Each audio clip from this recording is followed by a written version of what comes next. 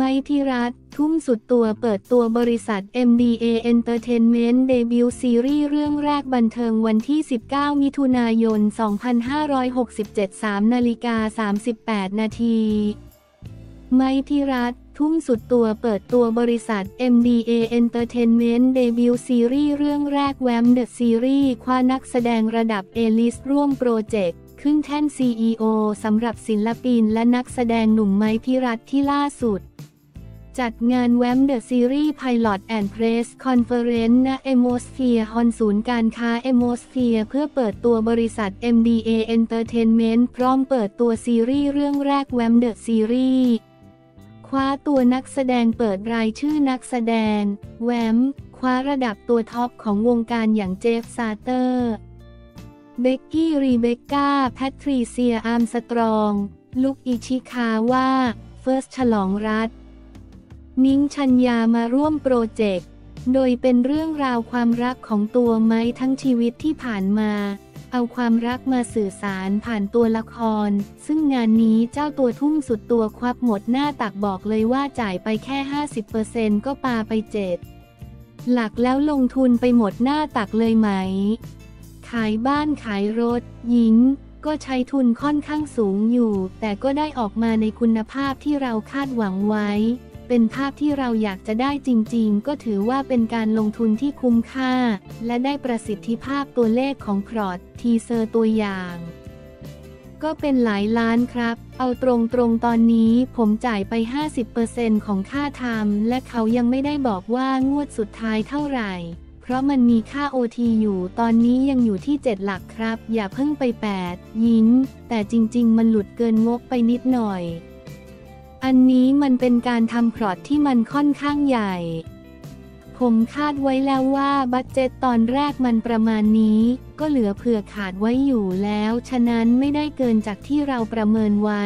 เพราะเราตอนนี้ในฐานะ CEO นักธุรกิจทำบริษัทของตัวเองเราต้องรู้เรื่องของกำไรขาดทุนต่างๆ ในบริษัทด้วย แต่ถ้าระหว่างมันทำมีต้องให้เพิ่มล่ะ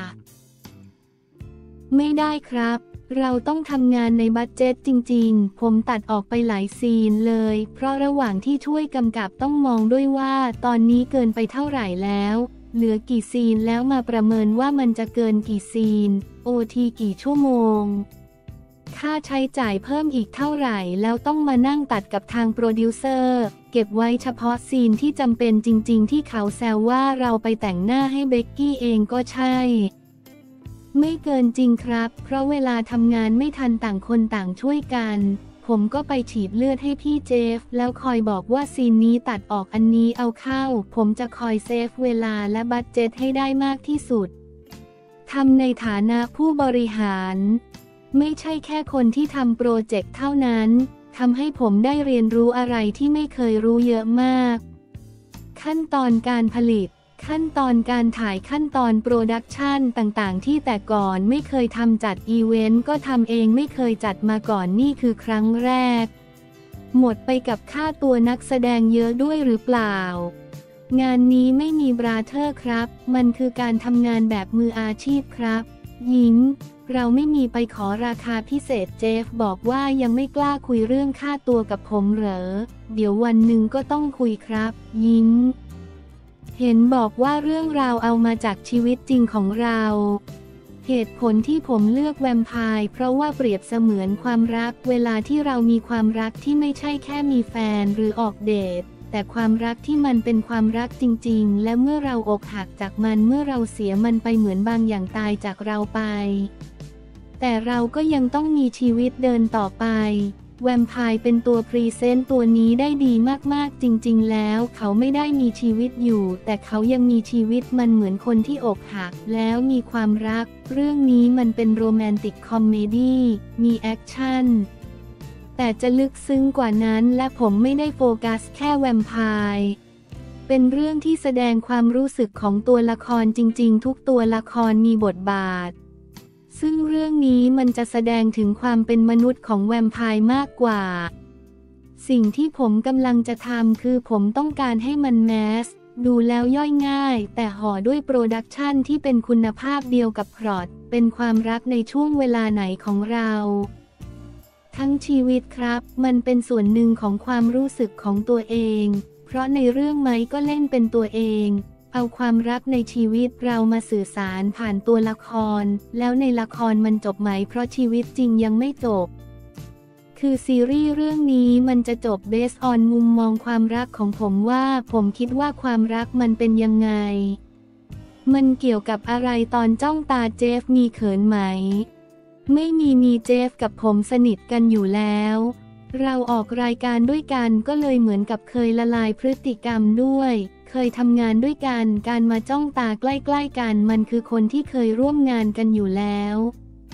ก็สนิทกันแต่แคสคนอื่นๆ ผมยังไม่เคยมีโอกาสร่วมงานด้วย ก็อาจจะต้องมีเวิร์กช็อปค่อยๆ ปรับตัวกันไป ถ้าคนจะจิ้นเรากับเจฟล่ะ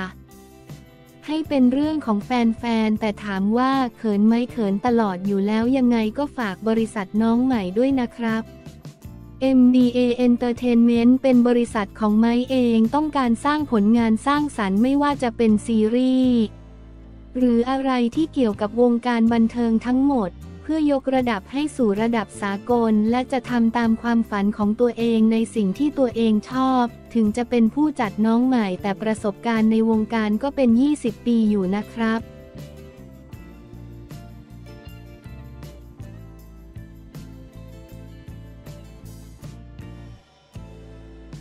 ประกาศเพิ่ม 42 จังหวัดใช้ 30 บาท รักษาทุกที่ด้วยบัตรประชาชนใบเดียวข่าวด่วนวันที่ 18 มิถุนายน 2567 15นาฬิกา31 นาที ปิดราชกิจจาประกาศเพิ่มเติมรายชื่ออีก 42 จังหวัด รวมกรุงเทพมหานครใช้ 30 บาท รักษาทุกที่ด้วยบัตรประชาชนใบเดียวเช็คเลย มีจังหวัดไหนบ้างตามนโยบายกระทรวงสาธารณสุขวันที่ 18 มิถุนายน 2567 ผู้สื่อข่าวรายงานว่าเว็บไซต์ราชกิจจานุเบกษา เผยแพร่ประกาศของสำนักงานหลักประกันสุขภาพแห่งชาติ สปสช เรื่องจังหวัดที่ดำเนินงานตามนโยบาย 30 บาท รักษาทุกที่ด้วยบัตรประชาชนใบเดียวพศ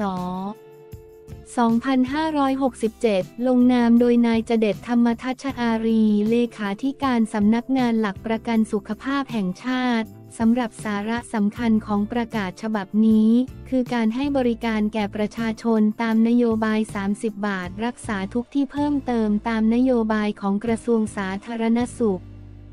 เพื่อให้ประชาชนสามารถเข้าถึงบริการสาธารณสุขได้อย่างทั่วถึงและมีประสิทธิภาพ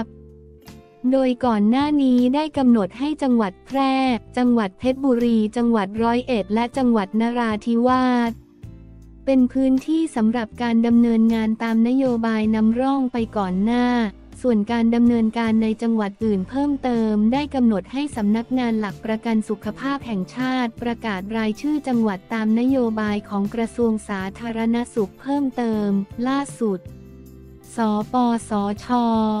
ได้ประกาศให้จังหวัดดังต่อไปนี้เป็นจังหวัดที่ดำเนินงานตามนโยบาย 30 บาท รักษาทุกที่ด้วยบัตรประชาชนใบเดียวเพิ่มเติมอีก 42 จังหวัดดังนี้ จังหวัดนครราชสีมา จังหวัดนครสวรรค์ จังหวัดพังงา จังหวัดเพชรบูรณ์ จังหวัดสะแก้ว จังหวัดสิงห์บุรี จังหวัดหนองบัวลำพู จังหวัดอำนาจเจริญ จังหวัดเชียงใหม่ จังหวัดเชียงราย จังหวัดน่าน จังหวัดพะเยา จังหวัดลำปาง จังหวัดลำพูน จังหวัดแม่ฮ่องสอน จังหวัดกำแพงเพชร จังหวัดพิจิตร จังหวัดชัยนาท จังหวัดอุทัยธานี จังหวัดสระบุรี จังหวัดนนทบุรี จังหวัดลบบุรี จังหวัดอ่างทอง จังหวัดนครนายก จังหวัดพระนครศรีอยุธยา จังหวัดปทุมธานี จังหวัดอุดรธานี จังหวัดสกลนคร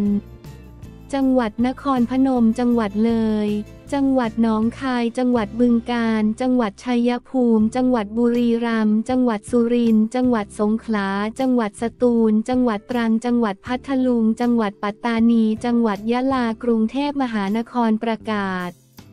ณ วันที่ 13 พฤษภาคม พศ 2567 อ่านประกาศฉบับเต็ม